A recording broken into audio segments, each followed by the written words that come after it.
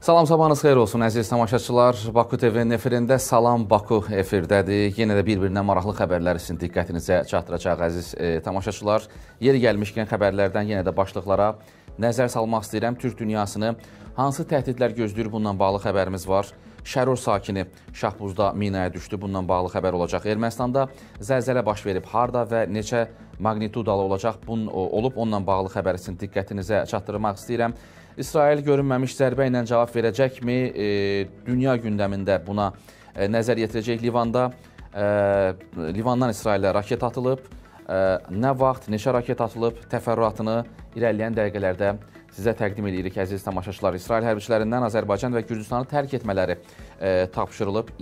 Eyni zamanda yaxın şərqdə nələr baş verir bununla bağlı da qonaq bölümündə canlı bağlantıda qonağımızla müzakirələrimiz olacaq. Zaporoja Atom Elektrik Stansiyasında yanğın baş verib təfərrüatları irəliləyən dəqiqələrdə bir daha qeyd edim ki, Paris Olimpiyadasının biabırçılığı bu arada yenə də davam eləyir.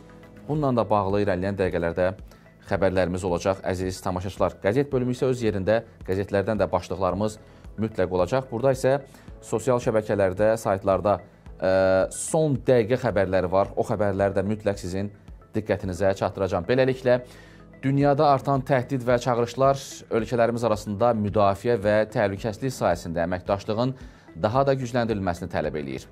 Bu, Prezident İlham Əliyev Qazaxıstanın paytaxtı Astanada keçirilən Mərkəzi Asiya dövlət başçılarının görüşündə səsləndirdiyi fikirlərdir.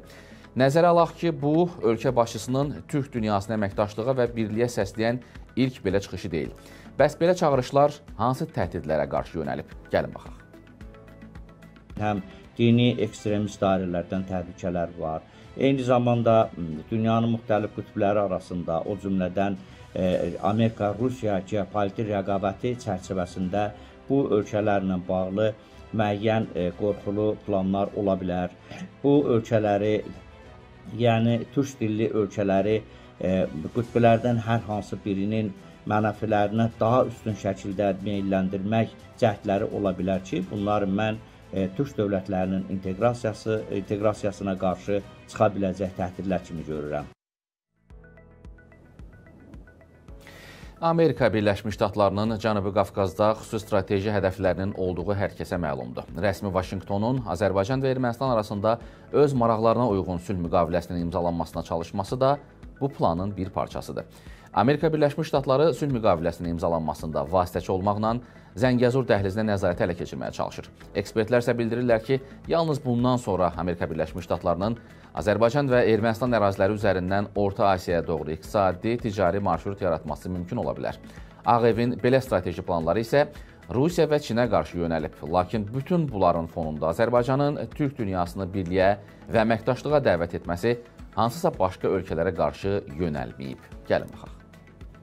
Azərbaycan və Türkiyə başda olmaqla bütün türk dünyasının ölkələri indiyə qədər hansısa bir dövlətə qarşı planlar cızmaqla yox, yalnız özlərinin mənəfilərini müdafiə eləmək, e, imkanlarını əlaqələndirmək və daha e, əlbir və birgə güclə dünya arenasına çıxma haqqında düşünüblər. Bu gün də Azərbaycanın əsas hədəfi məqsədi orta dəhlizi daha da inkişaf elətdirmək, Mərkəzi Asiya, Cənubi Qafqaz Azərbaycan e, Türkiyə vasitəsilə Avropaya doğru etibarlı və işləh vəziyyətdə olan bir e, körpü yaratmaqdır.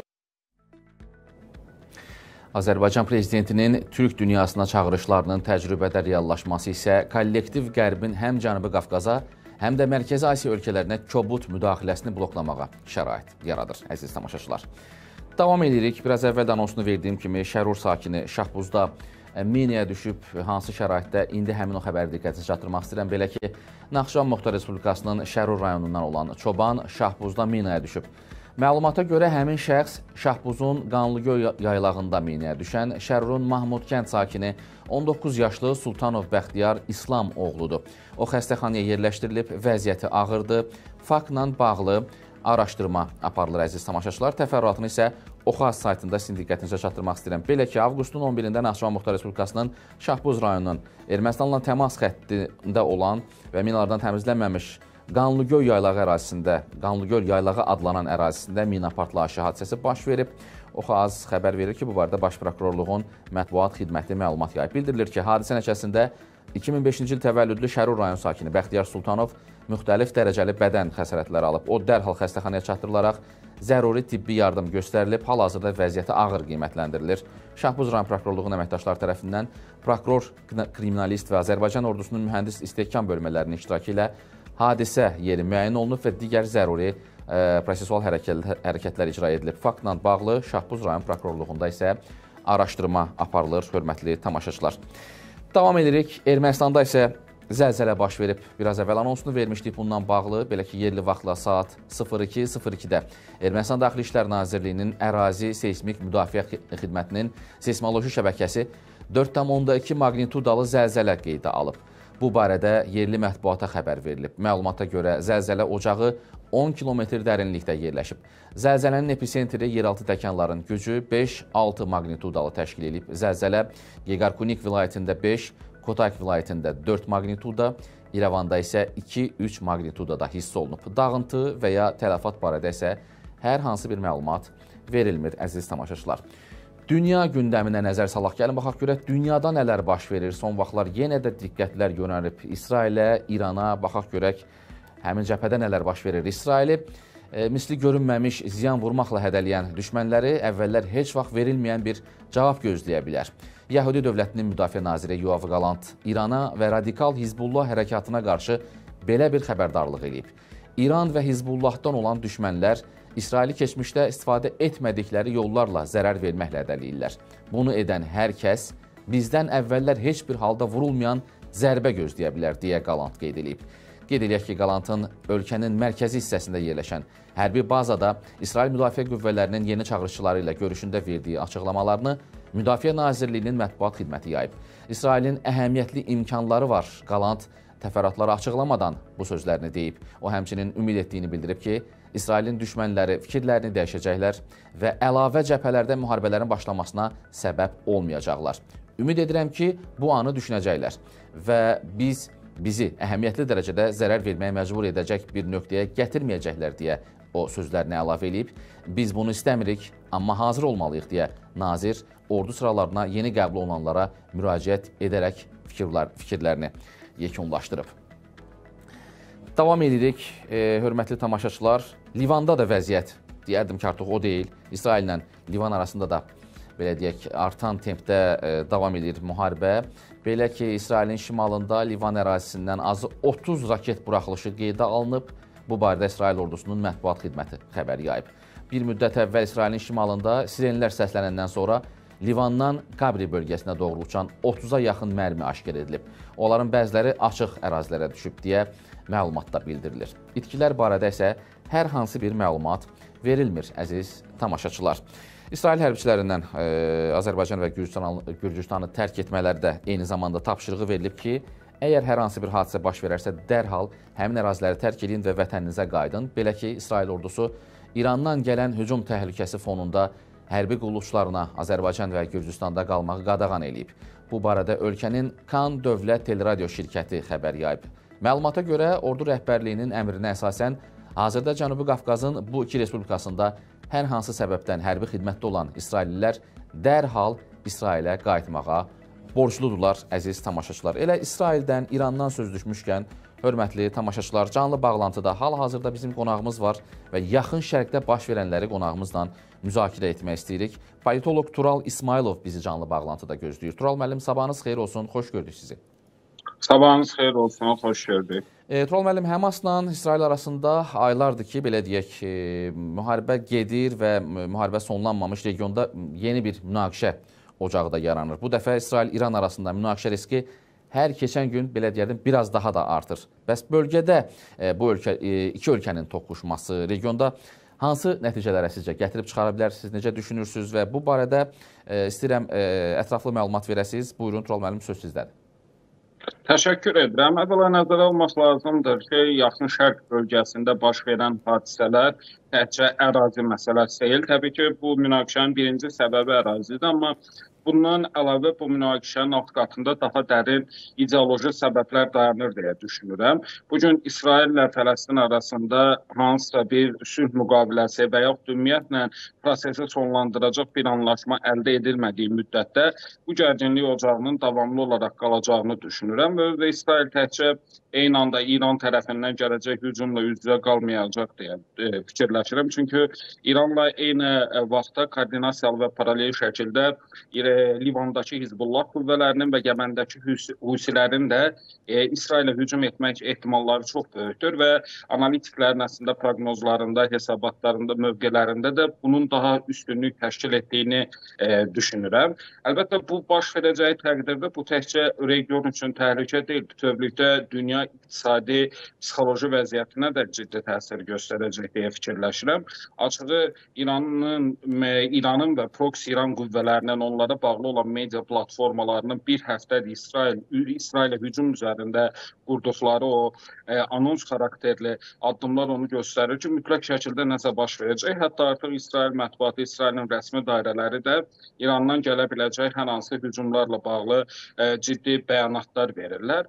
Amma bunun miqdarının nə e, hansı səviyyəyə qədər gedib çatacağı özü düşündürücü bir məsələdir. Çünki İranın e, İsrailə edəcəyi bu dəfəki hücum aprel ayındakı kimi sadəcə hansısa raketləri göndərmək və İsrail hava hücumundan müdafiə sistemlərinin bunu sıradan çıxarmağı ilə yekunlaşacağını açığı düşünmürəm və bu baxımdan da biz görürük ki, İran burada tək addım atmayacaq. Yəni İrandan İsrailə hücumlar fonunda Livanla da İsrail arasındakı aktiv əməliyyatların daha da genişlənmə ehtimalları var. Onsuz da bilirsiniz ki, Livanla İsrail arasında ə, həftə ərzində bir neçə istiqamətdə ə, hava döyüşləri davam edir. Livandan İsrail zərbələri, İsrail mövqelərinə zərbələr endirilir. İsrail Livandakı Hizbullah mövqelərini ə, bombalayır, amma bütün bunların fonunda bu qarşılıqlı şəkildə müharibə və eskalasiya riskinin daha da dərinləşməyi prosesi e, mən düşünürəm ki, e, siz vurğuladınız gözlənilməz məsələsi o qədər də gözlənilməz bir məsələ deyildi, amma bunun əlbəttə ki, nəticələri və fəsadları e, çox ciddidir. Biz bilirik ki, artıq hardasa 80 ildən çoxdur davam edən İsrail-Fələstin qarşıdurmasının e, müxtəlif dövrlərdə e, sakit və sükut vəziyyətində olan durumu e, sonrakı sonrakı zamanlarda aktiv döyüş əməliyyatları ilə əvəz olunub, amma bu dəfə həm insan tələfatlarının sayı daha çoxdur, həm İsrail tərəfindən verilən açıqlamalar var ki, o Qəzzada Həmas təmizlənənə qədər prosesdə geri dayanmayacağını vurğulayıbdı. Eyni zamanda e, görünür ki, e, bölgə coğrafiyasındakı o gərginliyi həll etməli olan beynəlxalq təşkilatlar da həldən və kompromis yollarının əldə edilməyindən daha çox düşmənçilik, ədavət və münaqişənin qalmağında daha maraqlı maraqlı tərəf qismində iştirak edirlər. Bilirsiniz ki, o bölgənin çox böyük təbii sərvətləri var, amma o hər zaman daimi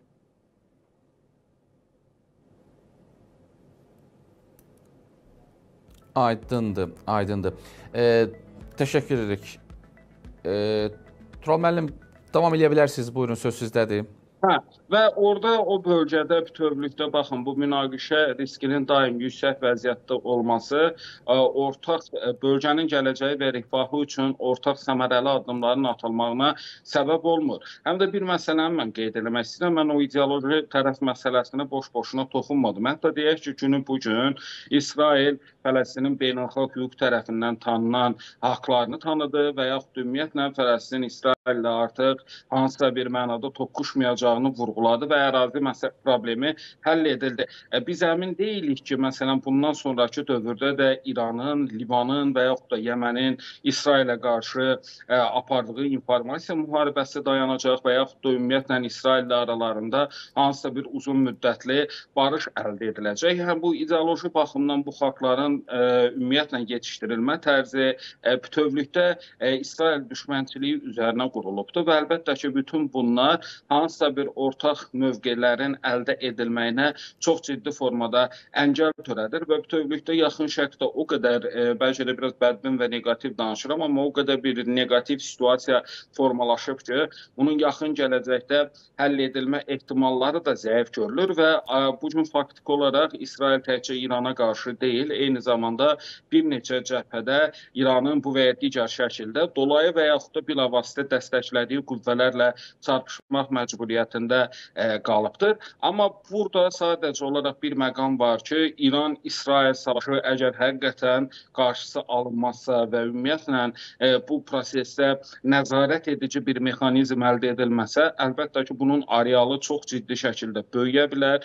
Nəzərə almaq lazımdır ki, İsrail ə, hava hərbi sahəsində Hə. özəlliklə öz texnologiyaları ilə dünya nəhənglərindən biridir. Eyni zamanda ə, bundan əvvəlki dövrdə də biz görmüşük ki, İsrailə qarşı hücum etmək və onun bu imkanlarını nəzərə al, aldıqda daha dağıdıcı addımlar atmaq üçün onun ona rəqib olan, onunla çarpışan qüvvələr də müəyyən hədəfləri olduqla, olduğunu vurğulayıblar. Ona görə də dünyanın nəhəng dövlətləri, siyasi güc olan mərkəzlər də başa düşürlər ki, İranla İsrail arasındakı e, bu gərginliyin səviyyəsi lokal həddi aşarsa, yəni deyək ki, aprel ayındakı kimi e, bir neçə saatlıq deyil də bu bir neçə həftəlik bir geniş çaplı müharibə e, riskinə çevrilərsə, Hı. əlbəttə ki, bunun e, dağıdıcılıq məsələsi daha böyük ola bilər və bu təkcə biz e, bu coğrafiyaya, regiona, yaxın şərqə deyil, bütövlükdə hesab edirəm ki, dünya üçün çox ciddi problemlər yarada bilər. Onsuz da dünya koronavirus pandemiyasından sonra Bəli. çox ciddi iqtisadi təlatümlərlə üz-üzə idi. Eyni zamanda Rusiya-Ukrayna müharibəsinin təsirləri var və bunun da fonunda yaxın şərqdəki gərginliyin ayrı-ayrı qollara ayrılaraq öz içərisində Livan-İsrail və yaxud da İsrail-İran savaşına çevrilməyi vəziyyəti daha da pisləşdirə bilər. Ona görə mən indiki məqamda e, İranın özəlliklə Haniyənin ölümünə cavab vermək ehtimallarını yüksək dəyərləndirirəm, amma bunun hansısa da e, böyük dövrü əhatə edən bir müharibəyə çevrilməyəcəyini düşünürəm. Hı -hı, aydındır. Təşəkkür edirəm Tural müəllim, minnətdaram. Çox sağ olun. Çox sağ olun. və dəyərli fikirlərinizə görə tamaşaçılara isə qeyd etmək istəyirəm ki, yaxın şərqdə nələr baş verirdi? Bütün bunları politoloq Tural İsmayılovla müzakirə etdik. İndi qayıdırıq Ukraynaya, baxaq görək Ukraynada nələr baş verib. E, Ukraynada e, daha dəqiq desək Zaporojyada, Zaporojye Atom Elektrik Stansiyasında yanğın baş verib.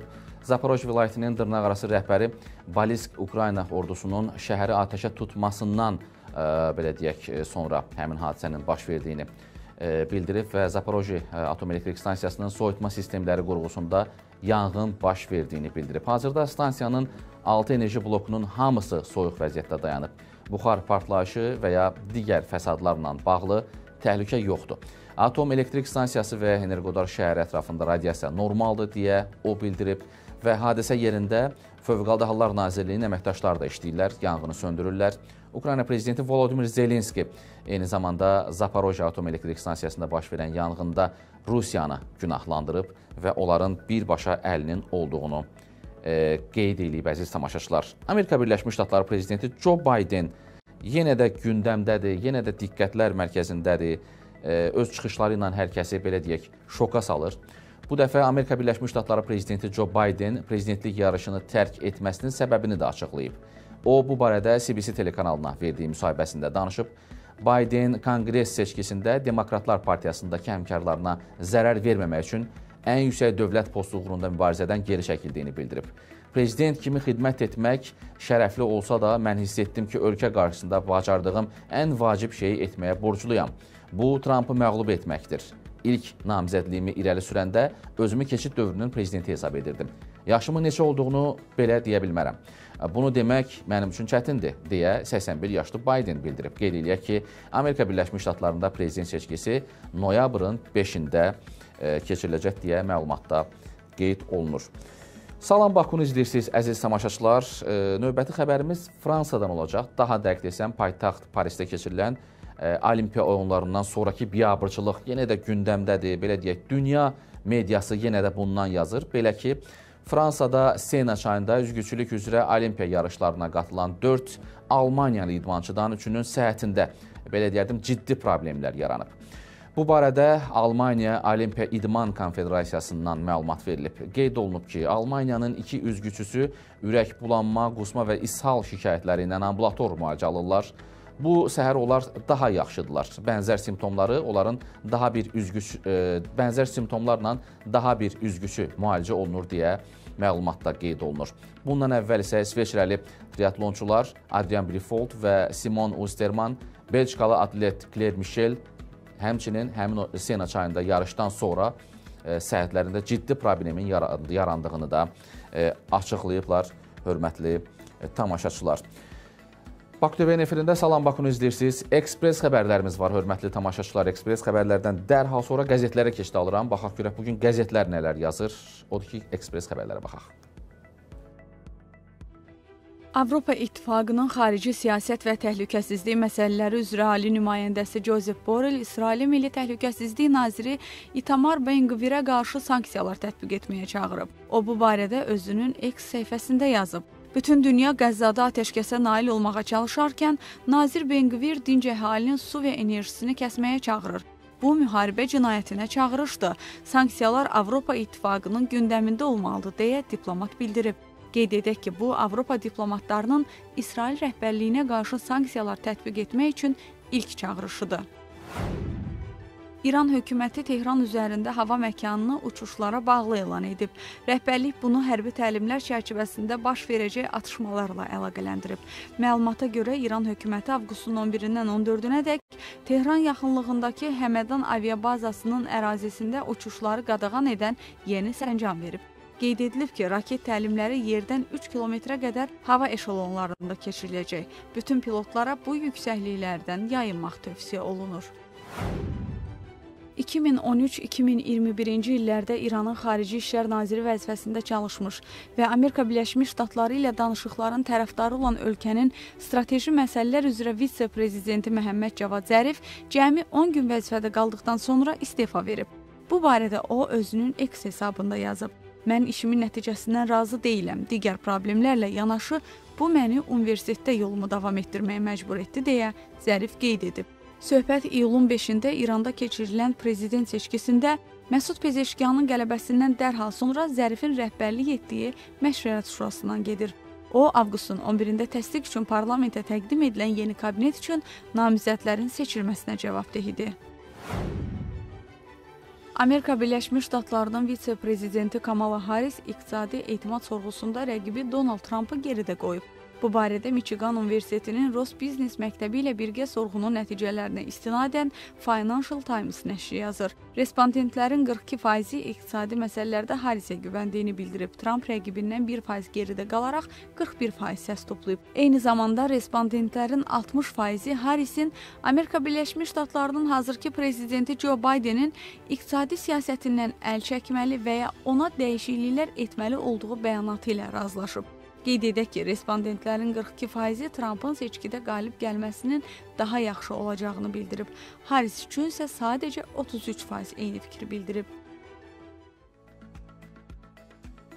Ekspres xəbərləri təqdim etdiyi əziz tamaşaçılar, qəzetlərə keçməzdən öncə son dəqiqə xəbəri var. Onu sizin diqqətinizə çatdırmaq istəyirəm. Belə ki, Rusiyanın Belqrad vilayətində sərhəddə gərginlik və sakinlər e, təxliyə olunurlar. Belə ki, Ukrayna silahlı qüvvələri Rusiyanın Belqrad vilayətinin Krasna e, Krasnoyarujsk rayonunun sərhədinə kimi hətta gedib çıxıblar və bununla əlaqədar sakinlərin təhlükəsiz yerlərə köçürülməsinə başlanılıb deyə məlumatda bildirilir və bu barədə vilayətin qubernatoru əslində Vyacheslav Gladkov özünün Telegram kanalında məlumat verib. Biz səhəri təşvişlə açdıq.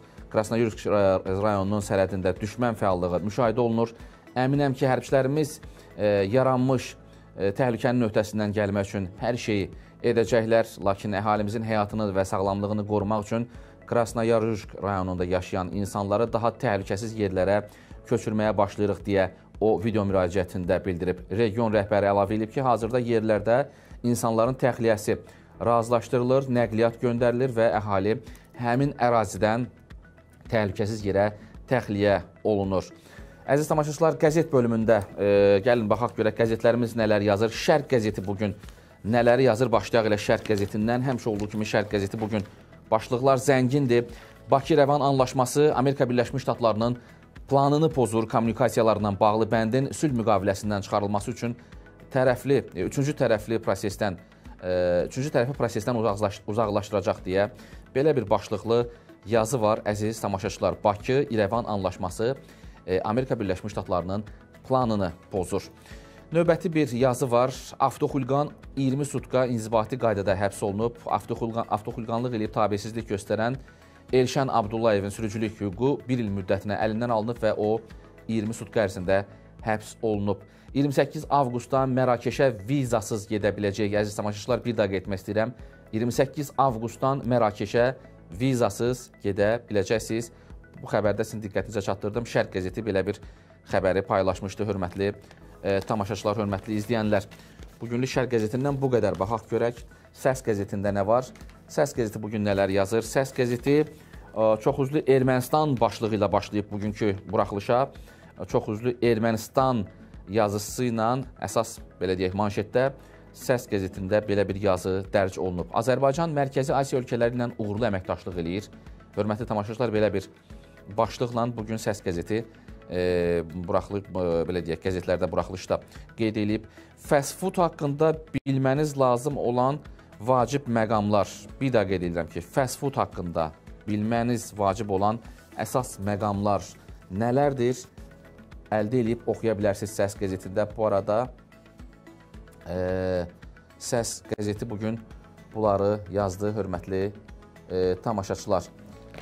525-ci 525-ci qəzetdə e, qısaca olaraq istəyirəm başlığa nəzər salım. Belə ki, prezidentin Astana görüşündən e, yazılar var.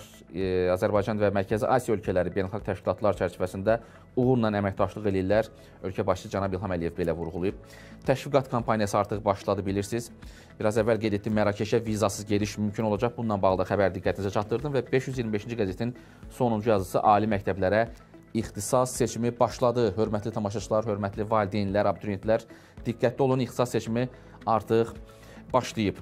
Qəzetlərdən bu günlük bu qədər. İndi ölkə gündəmində nələr var? Gəlin ölkə gündəminə nəzər salaq. Gəncədə baş verən hadisə yaz sahibinə dərdini unutdurub, mərasimdə kütləvi zəhərlənmə baş verib, onlarla şəxs xəstəxanalıq olub. Gəncədə baş verən hadisə ilə bağlı yaz sahibi danışıb.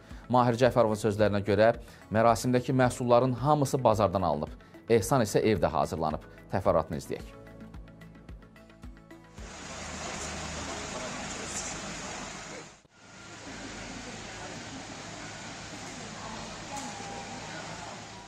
Bacım zəhərlənib, bacımın üç evladı zəhərlənib. Yəqin ki, qidadandır. Yas yerində bəli. Vəziyyət odur ki, bu dəqiqə çalışırlar ki, qıstursunlar, mədə yuyulsun, sistem qoyulub. Belə vəziyyət demək olar ki, ağır. Dostumuzun atası rəhmətə getmişdi. Belə getdi elə orada iştirak elədik. Çörək də dedik halva ilə, çay çörək də belə bitki. Oradan bir saat çəkmədi gördüm görəyəm bulanır, gözüm qaralır belə bunu. Elə ki çoxlara dedim sağ olsunlar, getdim evə. Buradan gəldik bura işinə. Vəziyyət gördüyümüz kimi dəbdəbə.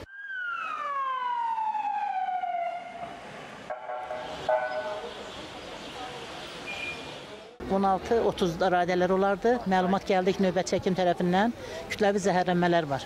Deyib, öyrəndik, dəqiqləşdirdik, məlumat məlum oldu ki, 3 nömrəli xəstəxananın yaxınlığında şəxsi evdə yas mərasimi olub, orada əhali qidalanıblar. Nə ilə? Biz maraqlandıq xəstələrdən. Bozartma yemişlər, e, pomidor, bir də yuxadan istifadə ediblər. İndi dəqiq nədən məlum e, zəhərlənmə dəqiqliyinə məlum deyil, amma hal-hazırda gələn xəstələr ardı rast kəsilmədən e, indi hər vəziyyətdə gələ bilər. Orta ağır və yaxud da ki, ağır yüngül olanlar var. Buna baxmayaraq indiyə kimi ümumi xəstələrin sayı 75 nəfərdir. Hələlik gəlməkdə davam edir. Ona görə də təcili göstəriş almışıq. Hələlik e, vəziyyəti ağır olan və yaxud da ki, ölüm hadisəsi qeyd alınmamışdır. Buna baxmayaraq yenə də vəziyyət e, davam etməkdədir. Yenə də gələnlər var və yerdə qalan xəstələr də yəqin ki, qeydiyyatına aparacağıq. Analizlər götürülmüş bütün xəstələrdən, bütün xəstələrin mədələri yuyulur, bağırsağı təmizlənilir və bir də ki, intoksikasiya əleyhinə yardımlar göstərilir. Rəhmətə gedən qardaşımdır, böyük qardaşımızdır bizim. Uzun müddət xəstəlikdən sonra rəhmətə getdi. Bu günləri Allahın izni ilə biz onu dəfn elədik. Apardıq qəbristanlıqda dəfn elədik, qayıtdıq, gəldik. Sonra ehsan verildi elin adətindən. Ehsanda e, e, adətən basırılan günü o Gəncə dilində bozatma deyirlər də. Bax elə bir şey verdik, bəli. Ondan sonra as əsasən də öz adamlarımızda, yəni öz ailəmizdə, qardaşımın ailəsində bəzilərində bir balacana narahatçılıq hiss elədik və bunun üstünə düşdük, gördük ki, bəli, bu verilən ehsandan ola bilər də, başqa nədən ola bilər. İndi o məhsulları da bazardan almışıq, gətirmişik. İndi aidiyyatı qurumlar da gəldi. Bütün burada verilən o ehsanın hər bir hissəsindən, hər bir detalından e, nümunələr götürdülər, qablaşdırdılar və e, bir həftə müddətinə dedi bunu biz analiz eləyəcəyik və dəqiq məlumat verəcəyik ki, sizə, yəni bizə bu nədən olubdur? Hansı qidadan olub? Pomidordan mı olub? E, xiyardan mı olubdur? Ətdən mi olub? Yağdan olub? Bunun hamısını inşallah araşdırıb bizə deyəcəklər və bizim özümüz üçün də bu çox maraqlıdır ki, bunu biz də bilmək istəyirik ki, bu nədən olub.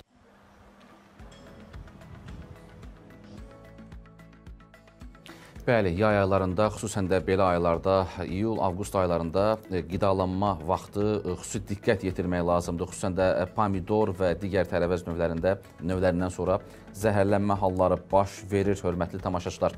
Sonda hava haqqında məlumatı da diqqətinizə çatdırmaq istəyirəm. Yeri gəlmişkən bölgələrdə yağış yağıb, leysan xarakterli olub.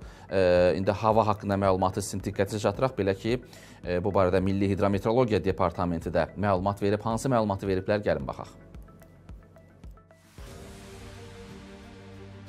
Avqustun 11-i və 12-sində həftənin ilk günlərində Bakıda Abşeron yarımadasında hava şəraiti dəyişkən buludlu, əsasən yağmursuz keçəcək. Lakin 12 gündüz saatlarında yarımadanın bəzi yerlərində qısa müddətli yağış yağacağı ehtimal olunur. Mülayim şimal-şərq küləcək. Havanın maksimal temperaturu 30-35 dərəcə isti olacaq. Bölgələrdə də əksər rayonlarda yağmursuz hava şəraiti müşahidə olunsa da, lakin gündüz saatlarında bəzi dağtay rayonlarda yağış yağacağı, şimşək çaxacağı gözlənilir. Ayrı-ayrı yerlərdə yağışın leysan xarakterli olacağı ehtimal olunur. Havanın maksimal temperaturu Aran rayonlarında 30-35, dağlıq ərazilərdə isə 20-25 dərəcə isti olacaq.